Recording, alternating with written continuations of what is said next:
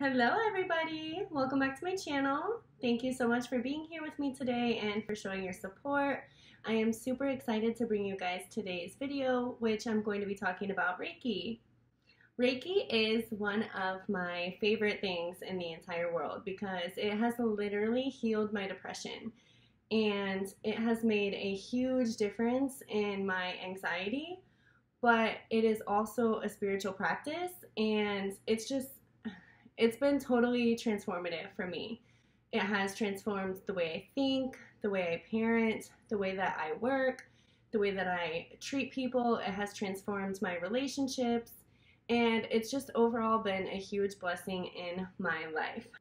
I am a Gendai Reiki Ho Shihan, which is a Reiki master teacher, so I am able to certify others.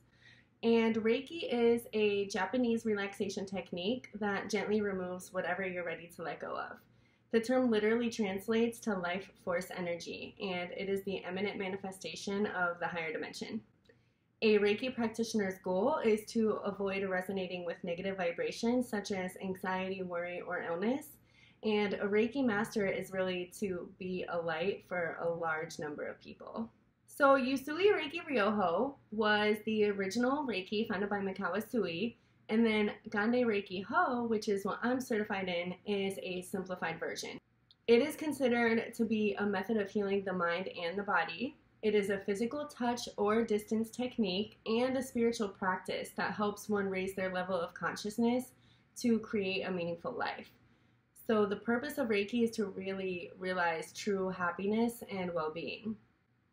Usui Reiki Ho, or the original Reiki, was founded by Mikao Usui, and he was on a quest to attain the state of Anshin Ritsumei, which is the path to enlightenment. And he went on a 21 day fast while climbing Mount Kurama, and after the 21 days, he experienced a blow to the crown chakra.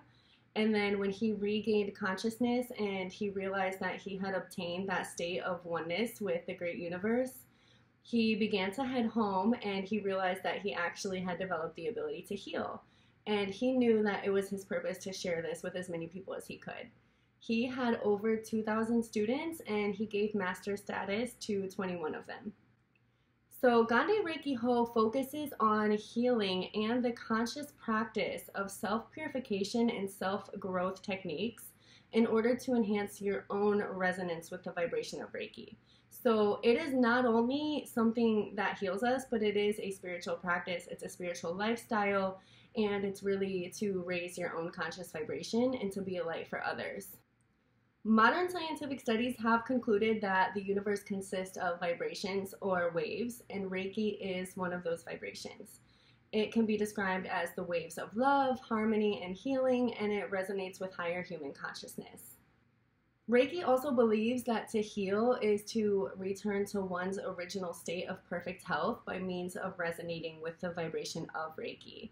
And the purpose of Reiki is to be on the path to wellness and happiness. A couple things about Reiki we do not use our own energy and we do not use our own intentions. We leave everything up to Reiki. All that we have to do is become a clear path for the Reiki healing to flow through us. So I'm not giving my energy to you, I'm not taking your energy on. I'm literally using the energy from the higher dimension and it flows through me to wherever it needs to go because it's intelligent. So, how does one become a Reiki practitioner or use Reiki? Anyone can do it. There is no hard training required.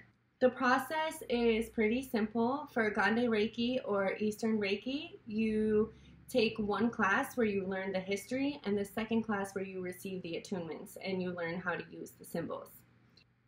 The word attunement means tuning to a wavelength. And in level one, there are actually three attunements. And the number one is to open the Reiki pathway. The second and the third attunements are to purify the Reiki channel. Distance attunements are not allowed in Eastern Reiki. So I understand that there are a lot of online classes coming up, and there's a lot of confusion because if you can send distance healing, why can't you send a distance attunement? I don't have the answer to that, but I know that in Gendai Reiki or Eastern Reiki, distance attunements are strictly forbidden. So if someone says that they were Reiki certified online and you want to work with them, I would just be very careful and make sure you see their certification. As far as religion is concerned, Reiki practice has nothing to do with any religious beliefs and it doesn't contradict any religious beliefs. Reiki practice can be harmonious with religion and it can actually enhance your understanding of your own personal religion. There's no conflict between Reiki and medical science. Modern medical science approaches a condition from a physical point of view, and Reiki activates one's vital energy and stimulates one's natural healing ability and the immune system. So it enhances the effects of the medical treatment.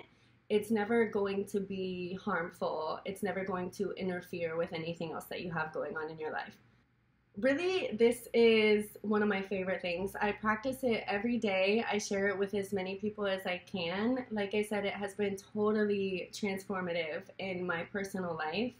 It has really helped me in my parenting and just overall everything. And there you have it. Those are the basics of Gendai reiki ho or eastern reiki. And i hope this was you know insightful like I said, Reiki has been totally transformative in my life. I highly recommend it to everyone. It is an amazing modality and it is also a spiritual practice. So there we have it. Thank you guys so much, and I'll see you later.